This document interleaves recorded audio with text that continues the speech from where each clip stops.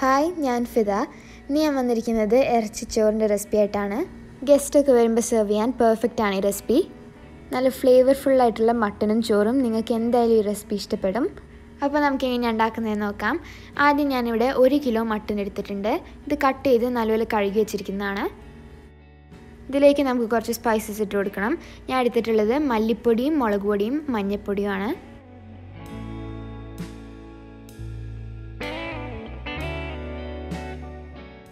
അതിനുശേഷം ഇതിലേക്ക് കുറച്ച് ഫ്രഷ് സ്പൈസസും കൂടെ ഇട്ട് കൊടുക്കണം. കുരുമുളക് ജീരകം ഏലക്ക പട്ട ഗ്രാമ്പു. ഇതെല്ലാം നല്ലപോലെ ഗ്രൈൻഡ് ചെയ്തൊരു പൗഡർ പോലെ ആക്കിയിട്ട് വേണം ഇതിനകത്തേക്ക് ഇടാൻ.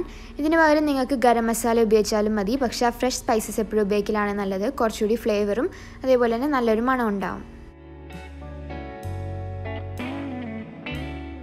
ഇതിലേക്ക് ആവശ്യത്തിന് ഉപ്പും കൂടെ ഇട്ട് ഈ മസാല എല്ലാം കൂടെ മട്ടനിലേക്ക് നല്ലപോലെ മിക്സ് ചെയ്ത് പിടിപ്പിക്കണം.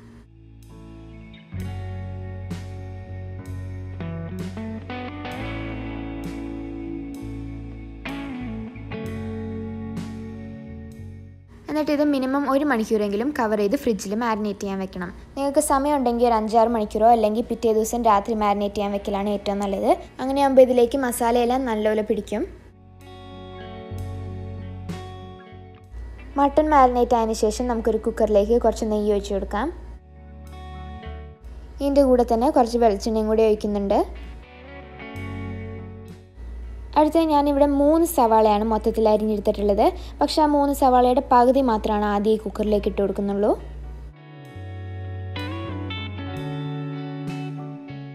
ഇതിന് നല്ലൊരു ഗോൾഡൻ ബ്രൗൺ കളർ ആവുന്നിടം വരെയും വഴറ്റണം.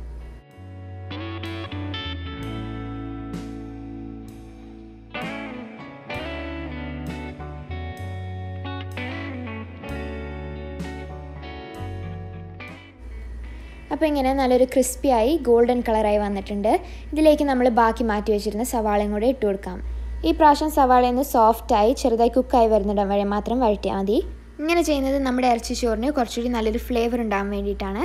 അങ്ങനെ സവാള ഇവിടെ നല്ലപോലെ കുക്കായി വന്നിട്ടുണ്ട്. അടുത്ത് ഞാൻ ഇവിടെ കുറച്ച് പച്ചമുളകും ഇഞ്ചിയും വെളുത്തുള്ളി എടുത്തിട്ടുണ്ട്. ഇത് നല്ലപോലെ ഒന്ന് അരച്ചതിന് ശേഷം ഈ സവാളയിലേക്ക് ഇട്ട് കൊടുക്കാം. അത് ഏകദേശം ഒരു മുപ്പത് സെക്കൻഡ് വഴറ്റി കഴിയുമ്പോൾ ഇതിലേക്ക് തക്കാളി ഇട്ട് കൊടുക്കാം.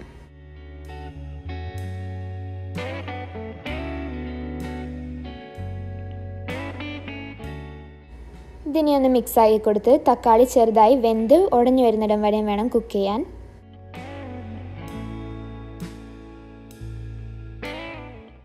അതിനുശേഷം ഞാനിവിടെ കുറച്ച് മല്ലിയില പുതിനയില കറിവേപ്പില എല്ലാം കൂടി എടുത്തിട്ടുണ്ട്. ഈ മല്ലിയില ഒന്ന് നല്ലപോലെ അരിഞ്ഞെടുത്ത് ഇതെല്ലാം കൂടെ നമുക്ക് കുക്കറിലേക്ക് ഇട്ട് കൊടുക്കാം. അതൊന്ന് നല്ലപോലെ മിക്സ് ആക്കി എടുത്ത് കഴിയുമ്പോൾ ആവശ്യത്തിനനുസരിച്ച് ഉപ്പിട്ട് കൊടുക്കാം. ഒരുപാട് ഉപ്പിടരുത് കാരണം നമ്മൾ ഓൾറെഡി മട്ടനിൽ ഉപ്പിട്ടതാണ്. എന്നിട്ട് ഇതിലേക്ക് മാരിനേറ്റ് ചെയ്ത് വെച്ചിരിക്കുന്ന മട്ടൻ ഇട്ട് കൊടുക്കാം. ഇതെല്ലാം ഒരുമിച്ച് നല്ലപോലെ ഒന്ന് ഇളക്കിയെടുക്കണം എന്നിട്ട് ഏകദേശം ഒരു അഞ്ച് മിനിറ്റോളം ലോ ഫ്ലെയിമിലിട്ട് വേവിക്കണം. അതാകുമ്പോൾ ഈ മട്ടനിലുള്ള വെള്ളം കുറച്ചൊന്ന് ഇറങ്ങി വരും. അങ്ങനെ നമ്മുടെ പാനിന്റെ അടിയിലേക്കൊന്നും ഒട്ടിപ്പിടിക്കില്ല. ഇനി നമുക്ക് ലിഡ് ക്ലോസ് ചെയ്ത് വെച്ച് ഇതൊന്ന് കുക്ക് ചെയ്തെടുക്കണം. നിങ്ങളുടെ മട്ടന്റെ വേവ് അനുസരിച്ചിരിക്കും കുക്കിംഗ് ടൈം എനിക്ക് രണ്ട് വിസിൽ വന്നപ്പോൾ തന്നെ വെന്ത് കിട്ടി. അങ്ങനെ ഇവിടെ ഇത് കുക്കായി കിട്ടിയിട്ടുണ്ട്. ആ മട്ടനിൽ നിന്ന് കുറച്ചുകൂടി വെള്ളം പുറത്തേക്ക് നല്ലപോലെ വന്നിട്ടുണ്ട്. ഇതിനകത്ത് നമ്മൾ എക്സ്ട്രാ വെള്ളം ഒന്നും ഒഴിച്ചിട്ടില്ല. ഇനി നമുക്ക് ഇതിനകത്ത് നിന്ന് ഈ മട്ടൺ പീസ് മാത്രം മാറ്റി ഒരു ബൗളിലേക്ക് ഇട്ട് കൊടുക്കാം.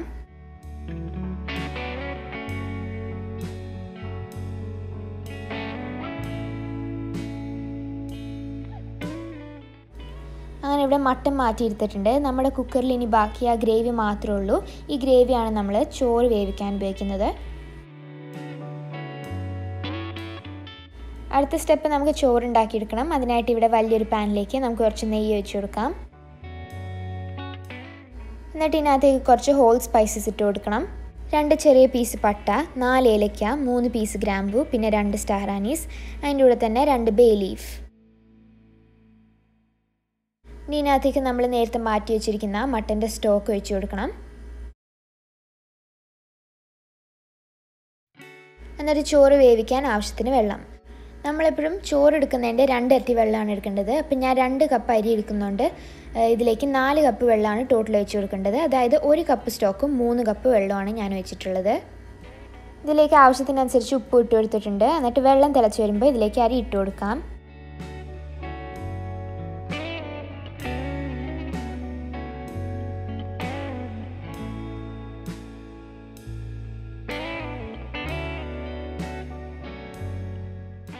ഇനി ലിഡ് ക്ലോസ് ചെയ്ത് വെച്ച് അരി വെന്ത് വരുന്നിടം വരെയും കുക്ക് ചെയ്യണം.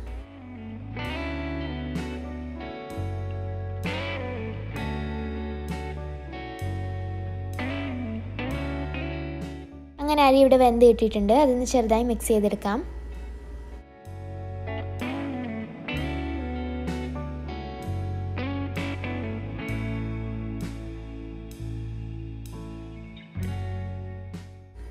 അടുത്തതിലേക്ക് നമ്മൾ മാറ്റി വെച്ചിരിക്കുന്ന മട്ടന്റെ പീസുകൾ ഇട്ട് കൊടുക്കണം. എന്നിട്ട് ഇതെല്ലാം കൂടെ നല്ലപോലെ ഒന്ന് മിക്സ് ചെയ്തെടുക്കാം.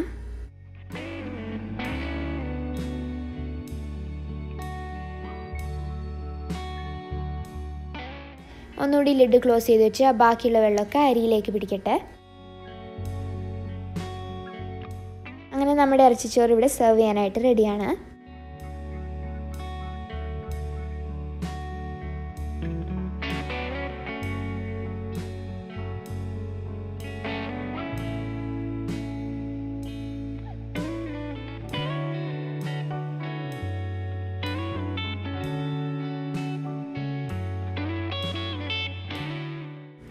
നമുക്കിതിലേക്ക് കുറച്ച് കച്ചമ്പറും അച്ചാറും കൂടി ഇട്ട് സെർവ് ചെയ്യാം. നല്ല ടേസ്റ്റി ആയിട്ടും ഫ്ലേവർഫുള്ളും ആയിട്ടുള്ള മട്ടനും ചോറും. ഈ റെസിപ്പി എല്ലാവരും ട്രൈ ചെയ്ത് നോക്കിയിട്ട് ഫീഡ്ബാക്സ് എല്ലാം കമന്റ് ബോക്സിൽ അയക്കണം. ഈ വീഡിയോ ഇഷ്ടമെങ്കിൽ ലൈക്ക് ചെയ്യാനും ഷെയർ ചെയ്യാനും സബ്സ്ക്രൈബ് ചെയ്യാനും മറക്കരുത്. Thanks for watching love cooking bye bye